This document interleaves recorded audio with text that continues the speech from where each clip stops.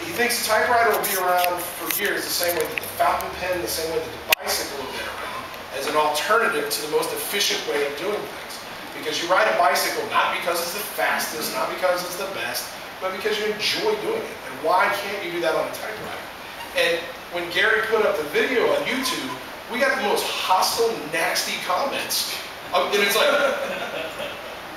relax, man. We're just talking about another way of working. And it's people mental. Like, like, like racism got into it. It's, it's, racism got into that. How did that happen? I don't know. But so um, here, here's one thing I ask, and, and I hope it's not too much of a shit. We made this film through Kickstarter, crowdsourced donations. I'm not asking for a donation, so you can just stop. This is not church, I'm not preaching, I'm not going to pass the hat. But we made it for very, very little money. $9,254 plus my gear, wear and tear on vehicles, and you know, Gary having put up with a lot of, ah, where do we go?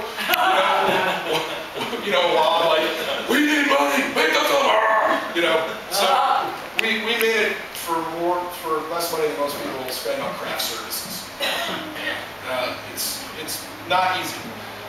But what I ask is, if anybody here, being LA, you never know who knows who. If anybody knows somebody in distribution, if anybody knows somebody who works at a PBS station, or somebody who's well placed, who can actually help the film, if you like the film, if you think that it has a place that more people should see it, at the very least, because we're all micro-journalists with our Twitter pages, our Facebook pages, you know, please tell somebody.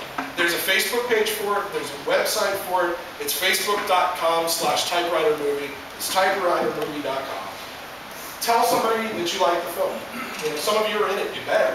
You know? uh, if you can tell somebody that you like it, we'd really appreciate it. And if you could just send us an email, you know, or CC us on something, really appreciate it because it's only because of the people who work on this machine you, will learn about the typosphere and the people in it and how passionate these people are for this machine and the way it works and, and just the notion of taking the time to work through your words, not just sitting there, click, click, you know, today's spastic workspace. Ah. It, it all works mouth to mouth, hand to hand, person to person, and machine to machine. So that's why you're here, I hope.